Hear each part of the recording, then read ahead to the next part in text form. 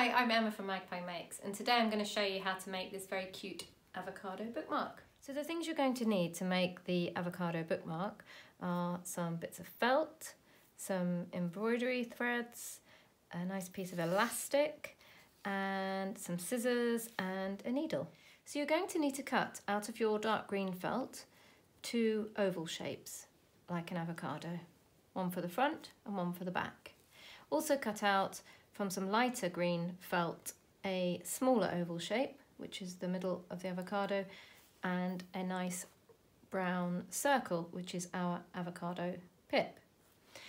Then you're going to pin the brown circle onto the smaller light green oval and then start a nice neat running stitch all the way around the edge of the brown felt just like we've done before in the running stitch tutorial on the website.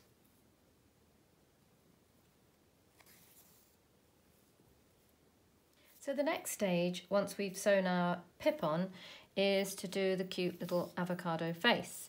And as you can see on here, I've just used a pencil which was quite sharp and drawn first the outline of the little eyes with two eyelashes and a little mouth. And then we're going to start sewing on the features using uh, backstitch, which is also demonstrated in one of the other tutorials. So we always come up from the back and make one little stitch and then come up a little bit in front of that stitch and go back into the end of the last stitch and then you get a nice neat line and just continue that all the way along until you've made your eye and then you can just do two little stitches on the outside for the eyelashes. So continue this with the other eye. You can leave the thread attached and just come up from the back and do the other eye and eyelashes. And when you finish that, you can also do the mouth in a different colour if you'd like, as I've done with the demo. For the cheeks, I have cut out two small uh, felt circles in pink and you can just stitch those on with a running stitch. If you don't have any pink felt or don't want to do that, you can always just get just a little bit of uh, felt tip and you can make a very, very light little mark on the felt and just smudge it slightly with your finger and you get quite a cute little blushed cheek effect. So either option is fine. The next stage is to sew the light green part with the face and the pip on onto the dark green part. And as you can see, I've pinned it with two pins just to stop it moving around.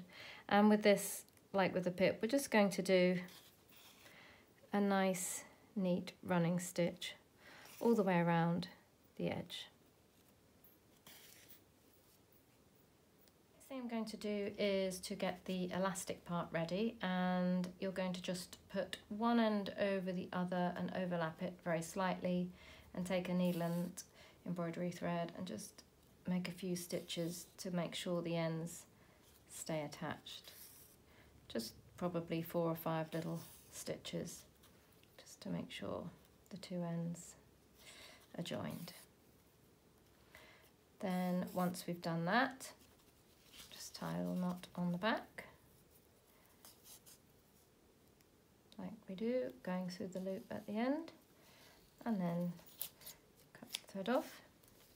And we're going to now sort of sandwich the elastic between the back part of the avocado and the front part. And then we're going to just put a couple of pins in to keep the elastic in place. Make sure it's coming out in the right place. Pin it in.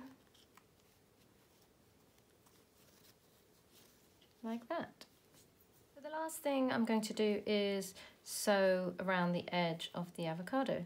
So we can start at the top where the elastic is and just make a few nice small running stitches just to make sure that's firmly in place.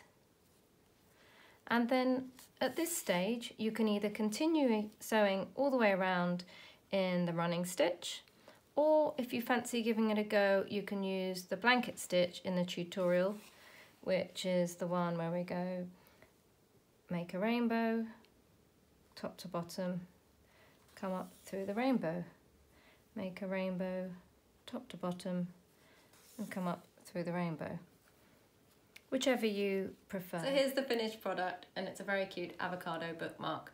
So why not have a go yourself? Just order up some bits of felt and some elastic, uh, some needles and some embroidery thread.